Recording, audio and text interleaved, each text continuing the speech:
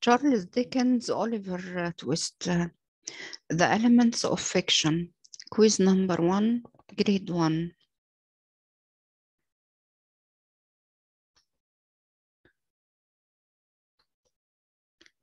In this extract from uh, Oliver Twist by Charles Dickens, we are going uh, to read uh, a rather long uh, passage from um, the novel. Then you are going to extract all the elements of fiction in the same manner as we have done in um, uh, the exercise of Humpty Dumpty and the complete elements of fiction. Uh, the passage reads as this Mr. Bumble's conduct on being left to himself. يعني سلوك مستر بامبل لما اتساب لوحده في البيت was rather inexplicable. كان غير مفسر يعني تصرف غريب عمله وهو قاعد لوحده في البيت حاجة ملهاش تفسير. He opened the closest يعني فتح حاجة كده زي النيش عندنا. counted the teaspoons قعد يعد في ملاعق الشاي.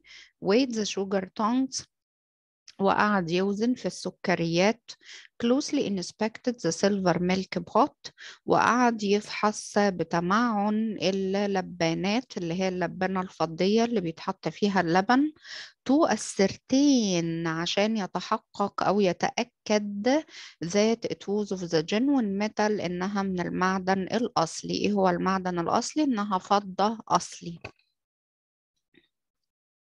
and having satisfied his curiosity لما أشبع فضوله. يعني إن هو خلاص أتأكد إن كل الحاجات اللي في النيش حاجات آه، فضة أصلي يعني وإن هو اتجوز ست طلعت فعلا غنية مش إنها بتخدعه أو جايبة حاجات مضروبة.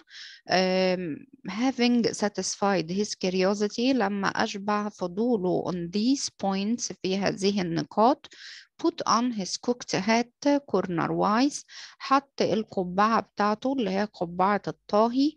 Corner wise يعني على جنب جابها على جنب ما خلاهاش في وسط راسه. بالظبط كده زاوية قايمة أو عمودية. جابها كده على جنب عوجها.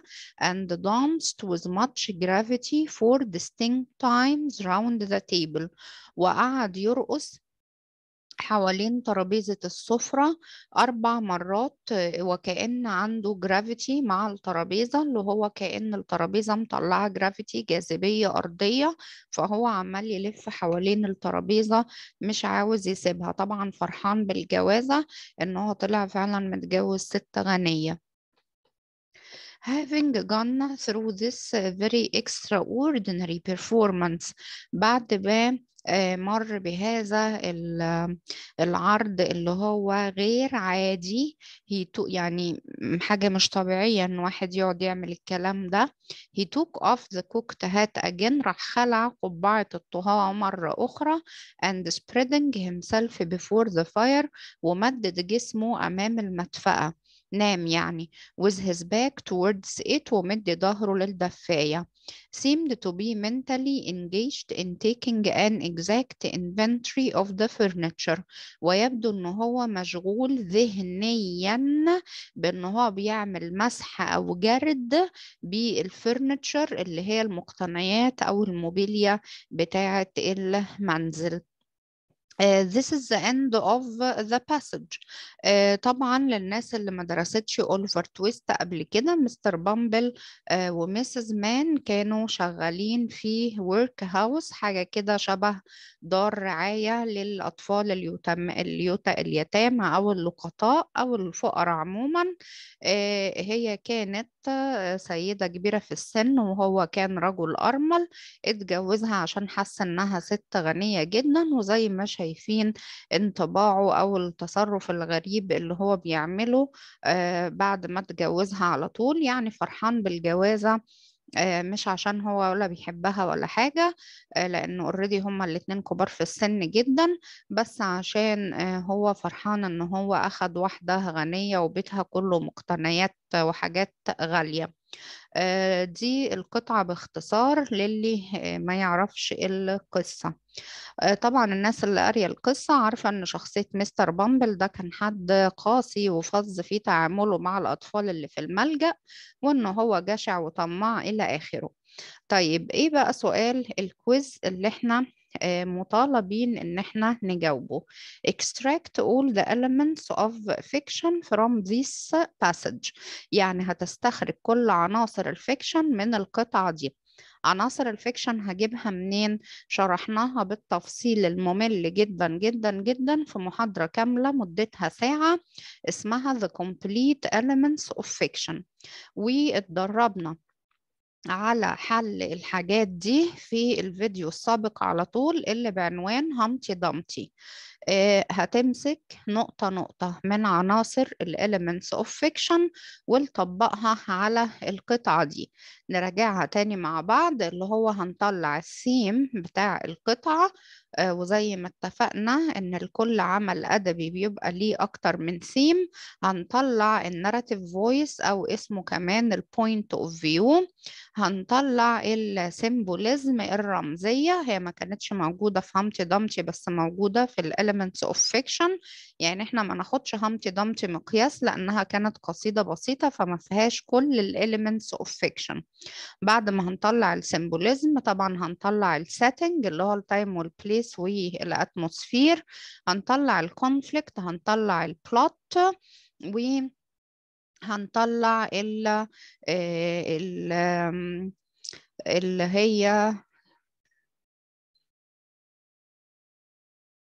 باقي ال elements زي مثلا قلنا خلاص ال symbolism. طبعا معلش نسيت أقول لكم حاجة هتحدد في في ال symbolism إن كان contextual symbol ولا universal symbol والشرح موجود في المحاضرة. هتطلع ال characters وال characterization وفي بينهم فرق رهيب ال characters اللي هي الشخصيات وهنا هتقول أنواعها بالكامل. وهتطلع ال characterization اللي هم ال seven strategies الاستراتيجيات السبعة اللي استخدمهم الكاتب في رسمه لهذه الشخصية مع ال evidence يعني إيه مع ال evidence يعني أنا ما انقلش في الإجابة بتاعتي ال seven strategies من المحاضرة وأقول أهم ال seven strategies موجودين في القطعة. لأ أنا عايزة evidence على كل حاجة. يعني أنت مثلا الاستراتيجي الأولى بتقول إن في الكاتب ادالنا authorial comments يعني تعليق على أو رأيه الشخصي في الشخصية. فين الكلمات هنا اللي في القطعة اللي فيها تشارلز ديكنز قال رأيه في شخصية مستر بامبل وهكذا. كل استراتيجي هت هتقولها هتقول evidence عليها. آه برضو تحليلك لل character للشخصية آه هتقول برضو evidence عليه. آه كل ال elements of fiction بدون استثناء لازم تقولها. يعني هتبدأ الأول الحل زي الفيديو بتاع Humpty Dumpty بس الفيديو ده فيه عناصر كتير جدا جدا ما كانتش موجودة في Humpty Dumpty عشان Humpty Dumpty كان التدريب الأول فكان سهل للغاية لكن من هنا هنبدأ ناخد المستوى الأعلى اللي هو المستوى اللي بيجي في الامتحان. آه نراجع المحاضرة بتاعت The Complete Elements of Fiction كويس. في محاضرتنا إن شاء الله الأسبوع ده اللي هي محاضرة face to face هنعمل مناقشة على طول آه لل quiz وهنستلم ال quiz وهتكون المحاضرة عبارة عن آه presentation لل quiz بتاعك وانت فهمت إيه من المحاضرة وحليت ال quiz إزاي.